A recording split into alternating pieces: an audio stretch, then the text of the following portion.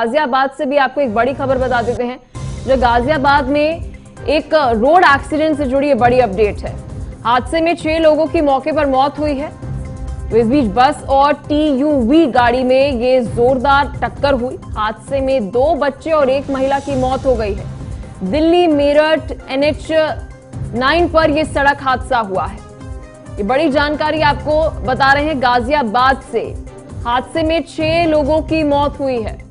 जिसमें से एक महिला और बच्चे भी बताए जा रहे हैं। बस और टीयूवी गाड़ी के बीच में टक्कर हुई। हादसे में दो बच्चे और एक महिला की भी मौत हुई है। तस्वीरें आप सभी के टीवी स्क्रीन पर हैं। आप देख सकते हैं कि कितनी जोरदार ये भिड़त हुई है। एनएच नाइन की ये तस्वीरें हैं। सीसीटीवी कैमरा के अंदर ये तस्वीरें कैद हुई और आप देख सकते हैं कितनी ज़ोर से ये टक्कर बस और गाड़ी के बीच में हुई। साथ ही रोड एक्सीडेंट के अंदर ये जानकारी मिल रही है कि हादसे में दो बच्चे और एक महिला जो है उसकी मौत हुई है। छह लोगों की कुल बताया जा रहा है कि इस हादसे के अंदर मौत हुई है। ये तस्वीरें आप सभी टीवी स्क्रीन पर, ये तस्वीरें सीसीटीवी फुटेज है। जहाँ आप देख सकते हैं एनएच नाइन की ये तस्वीर है, जहाँ पर बस और गाड़ी के बीच में टक्कर हो रही है। मौके पर पुलिस बल भी है। तस्वीरें आप सभी को सड़क हादसे से जुड़ी एनएच नाइन से गाजियाबाद से दिखा रहे हैं। दिल्ली मेरठ एनएच नाइन पर ये सड़क हादसे से जुड़ी तस्वीरें। किस तरीके से गाड़ी ध्वस्त हो गई है, ये भी आप तस्वीरों के अंदर देख सकते हैं। बस को भी कहीं ना कहीं आगे से काफ़ी ज़्यादा नुकसान होते हुए नज़र आया। एक बार फिर से तस्वीरें देख लीजिए।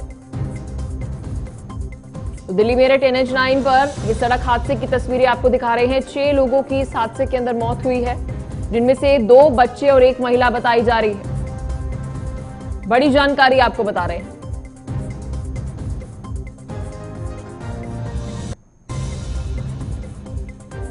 आज सुबह करीब छः बजे दिल्ली मेरठ एक्सप्रेसवे पर एक स्कूल बस और टीयूबी में एक्सीडेंट हुआ है। ये जो बस वाला था, ये दिल्ली गया हुआ था। दिल्ली से गाजीपुर के पास से सीएनजी भरवा करके रॉन्ग साइड आ रहा था और टीयूबी के लोग ये मेरठ से आ रहे थे, इनको गुड़गांव जाना था। ये आमने सामने का टक्कर हुआ, जिसमें छः लोग मौके पर कैजुअलिटी हो गई है और दो लोग गंभीर रूप से घायल हैं, जिनका इलाज कराया जा रहा है और बस के ड्राइवर को पकड़ लिया गया। इसमें पूरी गलती बस के ड्राइवर की थी। जो दिल्ली से सीएनजी भरवाने के बाद रॉन्ग साइड आ रहा था। आ, सर परिवार कहाँ था? और महिला पुरुष की अगर संख्या बता पाए। ये परिवार तो थाना इंचौली थाना क्षेत्र का था। इसमें दो बच्चे भी थे और दो औरतें थी दो पुरुष थे और बाकी परिवार के ही लोग हैं। अच्छा बताया जा रहा है कुछ लोगों को अस्पताल भेजा गया है। दो लोग दो लोग घायल हैं जिनको अस्पताल में इलाज कराया जा रहा है। टोटल सर कितने लोग थे टोटल कार में कितने लोग थे?